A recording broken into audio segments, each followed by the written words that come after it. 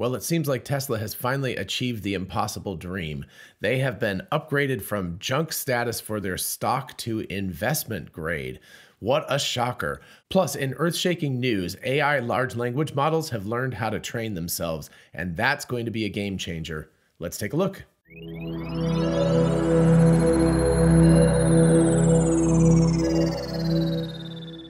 Hey y'all, it's Dr. Know It All. I'm doing a two parter here. I know a lot of people are only really interested in the Tesla end of things, so I'm going to put the Tesla stuff first and then I'll talk about the AI thing. But I recommend sticking around for the AI thing because it's actually super important. Anyway, let's turn to this Yahoo Finance article that's titled Tesla Exits Junk Rated World After Moody's Upgrade. So, in case you didn't know, even though Tesla has just been killing it as a business, their stock has still been rated as a junk status until October with S&P 500 stock rating and now finally with Moody's, they have also upgraded it to investment grade status. So let's read the article. And if it sounds like I'm somewhat cynical about this entire thing, I am. I mean, this these ratings are actually kind of ridiculous anyway, but it's worth talking about because it's going to have a significant effect on the stock. Anyway, let's read some parts of the article. Of course, I'm going to leave a link to everything down in the description so you can check it out yourself later. So the blue highlighted line says, now credit rating providers playing catch up, hint, hint, are giving heft to the auto automaker's blue chip valuation. Moody's Investors Service on Monday became the second credit ratings firm to endow Tesla with investment grade status,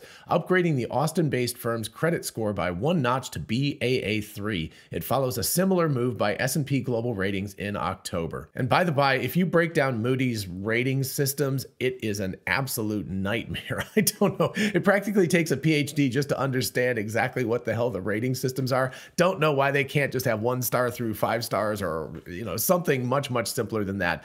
I, I feel like almost that they make these rating systems somewhat opaque to make them sound really complicated and make themselves sound better, right? Or more intelligent because they're giving these crazy ratings instead of just giving it a one star or something like that. Anyway, continuing on, quote, Tesla will maintain its position as one of the leading manufacturers of battery electric vehicles as the company further solidifies its global footprint, end quote, Renee Lipsch, senior credit officer at Moody's, wrote in a statement. Skipping ahead, Tesla was already being treated like a blue chip company by many investors and analysts. It secured a $5 billion revolving credit facility earlier this year, a sign that it was was nearing investment grade status. The electric vehicle firm has little outstanding debt, and its five year credit default swaps are already trading in line with high grade borrowers, according to data compiled by Bloomberg. And then finally, I'll read this last little bit. Quote, It's a historic event for Tesla, end quote, said Joel Levington, a Bloomberg intelligence credit analyst. We continue to believe the rating upgrade cycle for the company has legs, potentially narrowing views of credit risk against Volkswagen. So, a couple of things here. I don't think it's a historic event for Tesla. Tesla, I don't think could care less about this. Us, us shareholders, I guess it matters because now that they're investment grade, more you know, big financial institutions that have to check a box of investment investment grade stock to invest will now invest in the stock. So that should push it up in the short term a little bit it doesn't really matter for those of us who are holding it for five years. But it's also incredibly ironic that they talk about narrowing the credit risk against Volkswagen. This is a company that is going, I, I can't even remember, it's like $100 billion in debt. They're going to be spending something like $192 billion to fully shift to electrification of their vehicles over the next five to seven years. We're looking at a company that is massively, massively in debt versus Tesla, which has very, very little debt. They have revolving debt, you know, because obviously obviously you have to buy things so that you have to have some credit out there and stuff but in terms of long-term debt they have almost no long-term debt they're actually such a rock solid eh, corporation compared to any other auto manufacturer that they are kind of in a world of their own, which is the reason why we retail stockholders have been buying the stock a lot. So, anyway, what you'll probably see is a short term bump in the stock as investors, you know, people who will only do things when you've checked these investment grade stock boxes, invest in it, and you'll probably see a rise in Tesla stock. And then over the long term, it's really going to have almost no impact. So, a historic event is really, you know, incredibly unimportant. Now, if this had happened in 2018, 2019, when Tesla was much more cash poor and needed to be able to take out loans and things like that, yeah, this would have mattered a lot but it is very unlikely, unless Tesla is going all in on something really, really crazy, that they're ever going to need to borrow a lot of money long term again. So, this investment grade status is actually rather inconsequential and unimportant to Tesla. So that's my opinion. Of course, I am not a financial analyst. This is not investment advice. Do your own research, all of that kind of stuff. But my feeling is this is historic for people on Wall Street, but for nobody else. And now turning from something that you can tell that I feel is rather inconsequential to something that is massively consequential. This is about Stanford's new Alpaca software. This is something that they did in a couple of weeks for around $600, which is rather incredible. And the author AI explained here is really, really, you know, very intrigued about the fact that Stanford is able to do this for such an inexpensive price. But I actually have a slightly different take. I'm not going to play clips of this video for you. I will leave again the link to this in the description so you can watch it. I highly recommend watching it. It's just a 10 minute video. It's very, very quick to watch, no big deal. Uh, but it does go into exactly how alpaca was created. The important part about alpaca for me is not so much the cost of the creation, but how they did it. So, how did Stanford train a large language model in just a few days for $600 that cost hundreds of millions of dollars for OpenAI and other competitors to program and create just months ago, right? And GPT-4 just came out. So, so how did this happen? What happened was Stanford was able to take Meta's neural network model Llama, and they used the smallest version of this, which is only less than 7 billion parameters, I think 6.4 billion to be exact, maybe 6.7. Anyway, a very, very small model compared to the 174 billion parameter GPT-3 and at a guess 500 billion parameter GPT-4. Anyway, they they used that and then they used the GPT-3 API to create prompts to train Llama. So essentially what they did was rather than having human beings in the loop, which is the way that these things have traditionally been created traditionally in the past couple of years. Anyway, it's an immensely complicated, time-consuming and expensive task. What they've done is they've allowed GPT-3 3.5 to actually create the prompts to train Llama to make it really really good. Now, it's only 7 billion parameters, so this this alpaca is not fantastic, but there are versions of Llama that go up to about 65 billion parameters. And of course, there's GPT-4 right now. So if Stanford redoes this, and the odds are that they probably will, you know, honestly, within just a couple of weeks, we'll probably see this. But if they take the, the high end version of Llama, which is about 10 times more parameters, and they train it with the newest version of GPT-4 rather than the GPT 3.5 that they used to have, the odds are that Alpaca 2 or whatever they call it is going to be substantially better than this version of Alpaca that they trained, and it probably won't cost them much more money to do it, especially now that they've figured out how. So we're looking at something that is incredibly inexpensive and very, very fast to train and can be done on existing models. So Stanford didn't in, in, invent anything new. They didn't invent any new models or anything. All they did was bash the two of these things together and allowed them to train on each other. And the AI training itself is the part that is game changing for me. The cost is actually really, really cool and very interesting because, you know, hundreds of millions of dollars is something that most companies can't even afford to do. But the fact that they're using AI to train itself is, you know, my my head went, "Oh no. this is where things really really start to change." So, if you don't know some a little bit of history like AlphaGo from DeepMind was a program that took a really long time to program and create with a lot of human intervention, and that was the program that finally beat was it Lee Sedong? I Lee Sedong. Sorry, I'm misremembering his first name. Anyway, it beat the world champion Go player in in 2016. Again, I'm just doing this off the cuff if I'm remembering.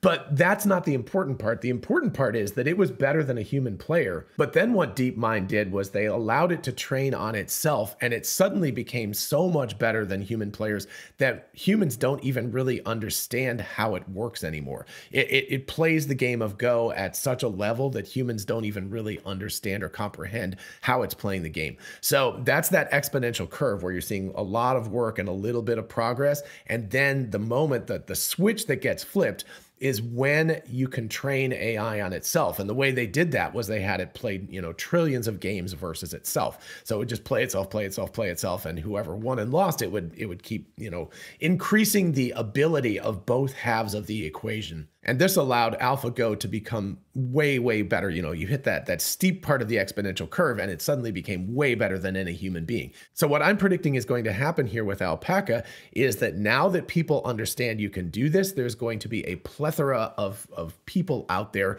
who are going to go like, oh, let's throw AI at itself with large language models and suddenly we're going to go from very expensive, very slow training, which takes months or years, to really, really rapid iterations.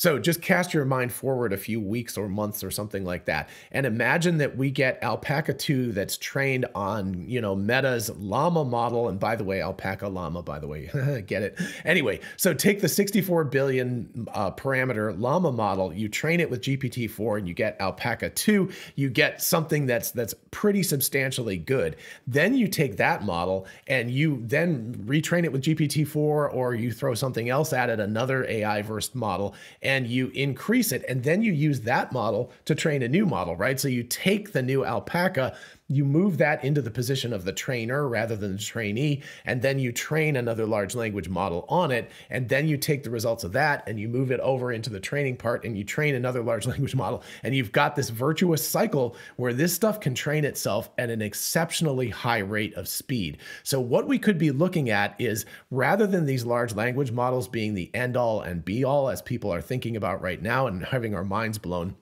with what these things can do right now, we could be looking at in as short as six months to a year, these things being so exponentially better than they are right now that we can't even comprehend them anymore. They provide information and they write in a way that is superhuman in a way. I don't even know what that means honestly. I'm not I'm not sure what superhuman writing and language communication actually means. The best I can think of is, you know, being like an Einstein in the sciences and a Da Vinci in the arts and engineering and things and, you know, that kind of thing but having all of that at once, but I think that I'm thinking too small. I just don't even understand that. It's sort of like, you know, when you look at at at uh, Go, at the way that the AlphaGo can play itself and it can play a game. And we humans can't even really comprehend how it's playing the game anymore, just the fact that it's crushing any human being. We could get to the point where these things are so good that we don't even really understand what they're doing anymore. And that could happen in the space of six months to a year. It could be incredibly fast. Because if you combine very inexpensive prices to train these things, plus the ability for the AI to train itself when all you're looking at is computer time and the thing can just cycle through very, very quickly and there's not a lot of human intervention, we could be looking at superhuman language stuff. I don't know what that means exactly, right? And again, we could be looking at generative art the same way, things like that, because now GPT-4 is multimodal. It's able to take in uh, text, but also images and video and audio and all of that kind of stuff. So if we start combining multimodal with the ability to train itself, this could take off really, really fast. So if you thought 2022 was the year of AI, I'd say buckle your seatbelts and watch what's coming. And don't forget, of course, that Tesla's full self-driving could very well get to the point where it becomes better than human beings this year as well. So we could be looking at real world applications of AI also going exponential and getting to the point where it is significantly better than humans. So where does that leave us humans by the end of 2023? I don't know. We might be a little bit humbled by then because we might be very, very very clearly second in a lot of these categories. Now, one quick caveat before I sign off. Remember, this is this is AI, this is AGI potentially. It is artificial general intelligence. It's something that has a general intelligence. It knows a lot about a lot of things. It is not artificial agency, artificial intelligence agency, or AIA or AA or whatever you want to call it. It's not an artificial agent. It doesn't have desires of its own. It don't doesn't have its own motivations. So however fancy these hammers get, they are still just hammers. It's human beings who are motivating it forward and telling it to do things. It doesn't have a will of its own. So right now, at least, that's where we are. I don't know if it, you know, if it achieves enough complexity, there is the possibility that it could gain some form of consciousness. And, you know, that's where it could get really scary. And I don't know, given how exponential this growth could be over the next six months to a year. I don't know what might happen. Consciousness just might be an emergent aspect of, of complexity. So we could start to see something very, very complex and it could at least fool us into the fact that it's conscious. But right now, at least, I see AGI as as taking off and really becoming quite the thing. But I see consciousness or, or artificial agency as something that still doesn't exist yet. That's only in science fiction. So no worries about that yet. Just worry about the fact that this thing is going to be better than us humans at most tasks very, very soon, it looks like. All right, I hope you enjoyed this episode and found it fun and thought provoking, perhaps a little bit terrifying. I do. I'm honestly a little bit worried about all this stuff considering how fast it's going. Anyway, if you did enjoy it, please do like it so other people can find it because YouTube's more primitive AI algorithm needs that. And of course, consider subscribing for more of this kind of content. As always, a huge shout out to my patrons on Patreon. Thank you all so much. We've had a really interesting discussion on Discord about these kinds of matters. And if you want to join the team and join the discussion, just check out the link in the description. And if you're interested in a whole bunch of really cool merch, check out our merch store. Link is in the description. We have TeslaBot t-shirts, the Tesla meme t-shirt, success is a possible outcome, 4680 battery cells. All of that stuff is on t-shirts, mugs, tumblers, and on and on. So check it out. And finally, don't forget we are both Tesla and Amazon affiliates. If you look in the description, you can see how going shopping for a solar roof, a power wall, or anything on Amazon helps out the channel. In the meantime, I'll see you in the next one. Bye-bye.